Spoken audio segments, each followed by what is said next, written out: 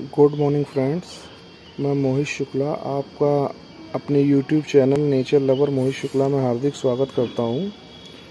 और आज मुझे काफ़ी समय बाद वीडियो बनाने का मौका मिला तो मैंने कहा चलिए मैं आपको अपने गार्डन के कुछ फ्रूट से दिखाता हूँ। ये हमारा अनार का पेड़ है जिस पे अनार तो कई सारे लगे हुए थे, लेकिन पौधा छोटा होने की वजह से मैंने इसको अनार जो हैं वो तोड़ दिए थे। जिसमें एक अनार मैंने छोड़ दिया था। अब ये काफ़ी अच्छा साइज़ लेने लगा है और कलर भी इसमें आने लगा है।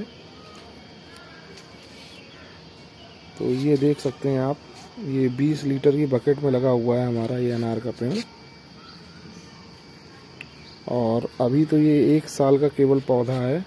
जब ये थोड़ा बड़ा हो जाएगा तो मुझे उम्मीद है इसमें बहुत सारे अनार आएँगे।